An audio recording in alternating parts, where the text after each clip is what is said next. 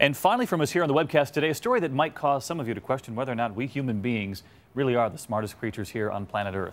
Japanese researchers created an intelligence test that pitted humans against chimps. And in the end, we look like chumps. Here's Bill Blakemore. First test Can chimpanzees count from 1 to 9 in the right order in return for a peanut or other tasty reward? Yes, they can. Now, if you just flash the nine numerals for a moment, then cover them, can a chimpanzee remember where each numeral was and still get the order they were in right? Yes, for another tasty treat. This chimp got this wrong once, but thought nothing of it and, undaunted, went right back to getting them all correct.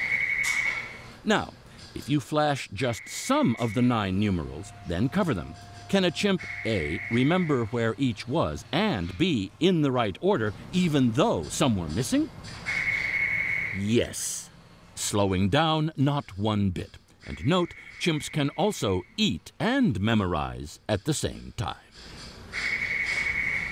Not only that, if right after the numerals are flashed, the chimpanzee is then distracted, say by some monkey business over to the right off camera, or perhaps by another good looking chimpanzee, and then returns to it, no problem. Just keep the goodies coming. Now, can another primate species, the adult Homo sapien, do the same?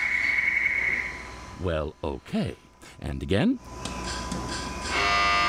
Uh, well, uh, again? Uh, Again? Uh, one more try? Well, okay.